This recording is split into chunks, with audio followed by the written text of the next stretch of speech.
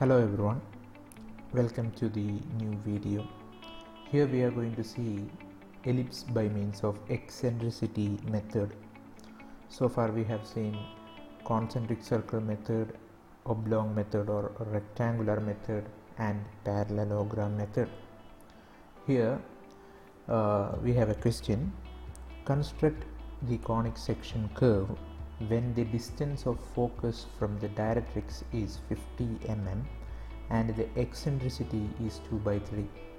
Also draw a tangent and normal at 30 mm from the major axis. Now it is not specified that uh, whether the curve is ellipse, parabola or hyperbola. So from the eccentricity eccentricity value we have to determine which of the following three curves we have to draw. Actually the eccentricity is 2 by 3 here which is definitely less than 1 now we know already that uh, if the eccentricity is less than 1 the curve definitely will be an ellipse.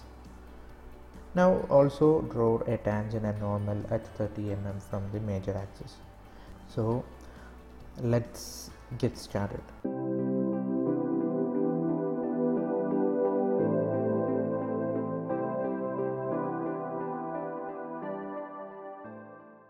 Now from the question uh, it is specified that the distance of focus from the directrix is 50 mm and the eccentricity is 2 by 3 so directrix directrix means uh, the fixed line.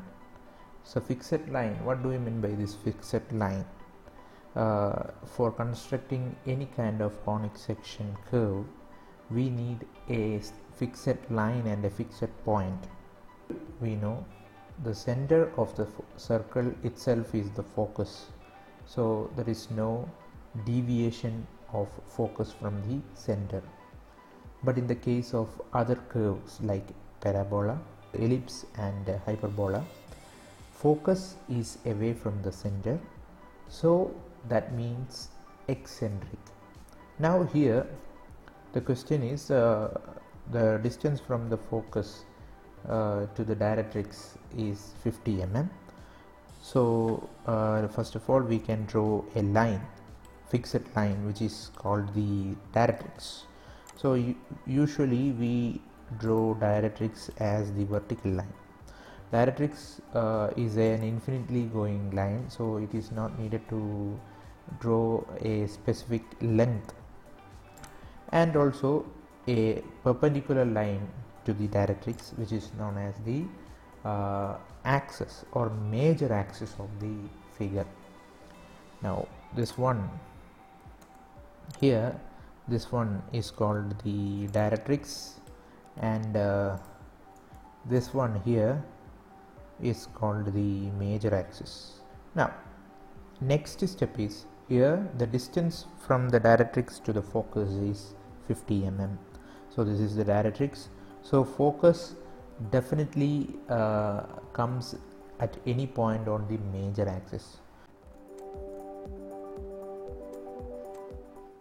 so we can say this point is considered to be the point O the uh, point of intersection of directrix and major axis and from that point we can take the distance of 50 mm.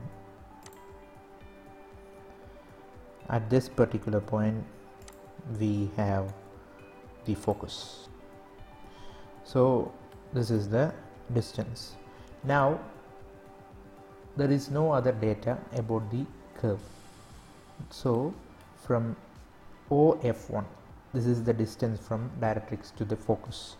So the, you, we know that this curve is an uh, ellipse because the eccentricity is 2 by 3 which is less than 1 so for the ellipse uh, there would be two focus or foci and two vertices so this is the first focus among that and uh, the, there is a procedure for uh, drawing the curve first procedure first step is to divide this OF1 line into five equal parts. Why this five equal parts? Because the eccentricity here is 2 by 3. So totally 2 plus 3 5 parts is needed. If the eccentricity is 1 by 3 we can say 1 plus 3 4 parts needed. Here 5 parts needed. And also in this eccentricity 2 is in the uh, numerator and 3 is in the denominator. So from the uh, focus focus point second division towards O should be considered as the vertex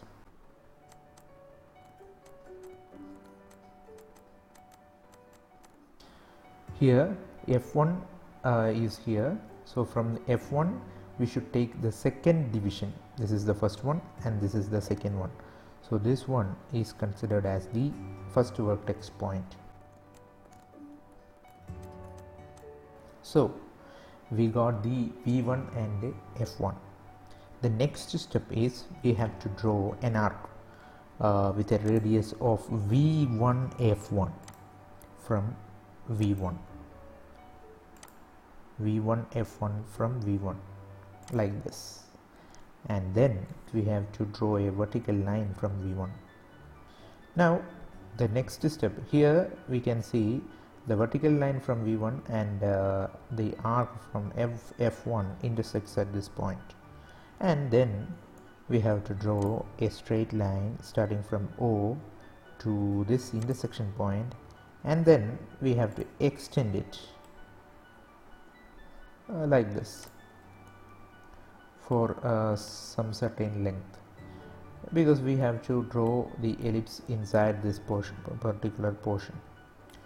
Now the next step is we have to take divisions from v1 uh, with a distance of 1 1 centimeter or 10 mm gap. So starting from v1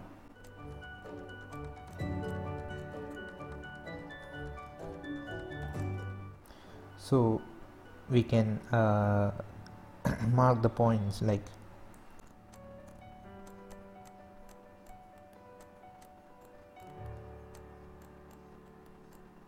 and after that we have to draw vertical lines from each and every points 1 2 3 4 up to 12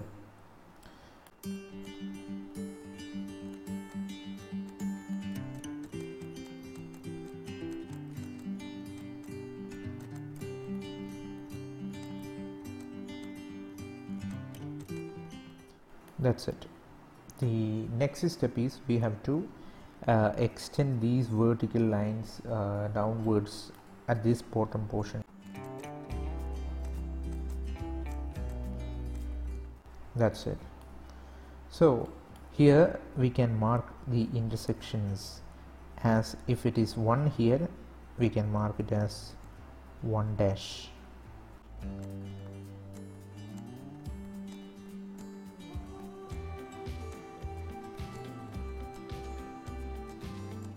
that's it. Now the next step is we have to measure one one dash line. Here it is 26.494 so we have to uh, draw an arc equivalent to this distance from f1 to this line.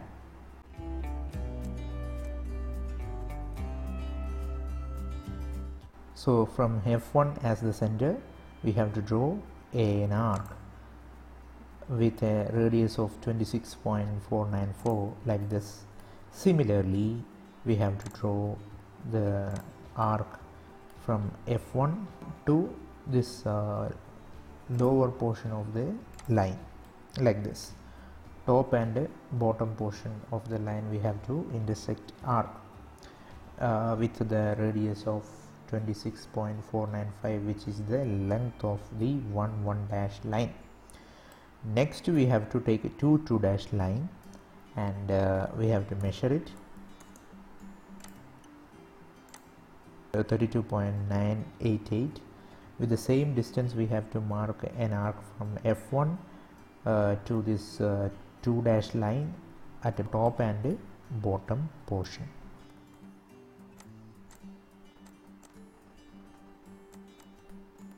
Similarly we have to do for the rest of the lines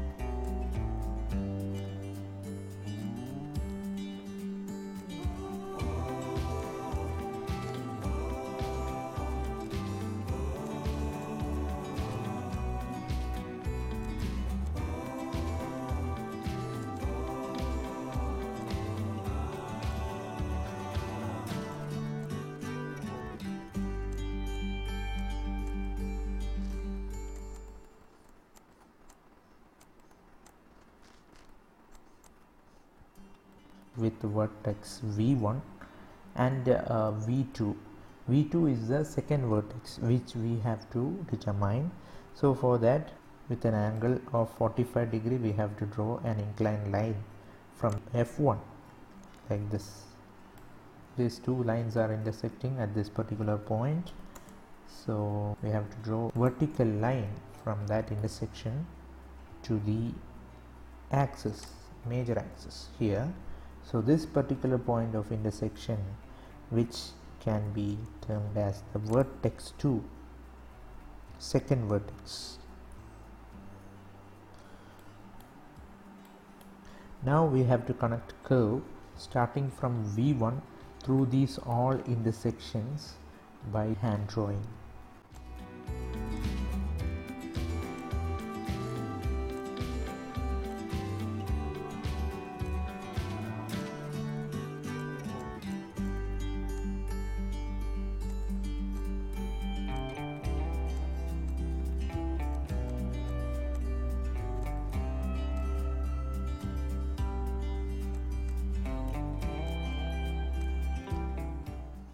so now this is the required ellipse.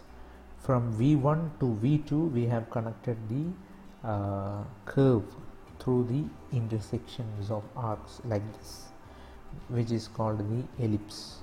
So this is the eccentricity method. Now we have to draw tangent and normal to this curve. For that we have to mark a point on the curve. From the question it is clear that also draw a tangent and normal at 30 mm from the major axis. So in this figure this is the major axis that is x axis. So from major axis we have to take 30 mm. So for that we can draw a parallel line.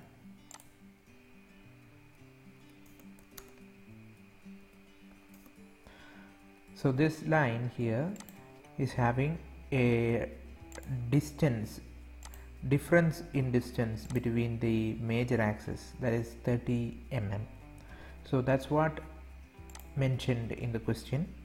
Now let's say this this line is intersecting the curve at this particular point. So this point uh, can be considered as the point for drawing the tangent and normal so I'm going to take this point as P. Okay. Now the next step we have to do is we have to draw a line from P to the focus. Then we have to draw a 90 degree line which is perpendicular to PF1 here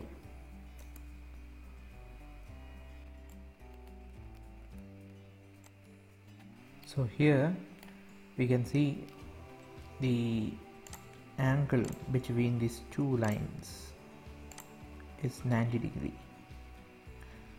Then we will get an intersection of line. This line intersects the directrix at this point. So from that particular point we have to draw a straight line to the point P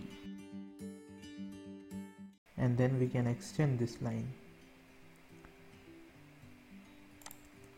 So this particular line here is the required tangent and for the normal we have to draw a line which is perpendicular to this particular line. This is how we have to draw the tangent and normal so hope you understand the concept. Thank you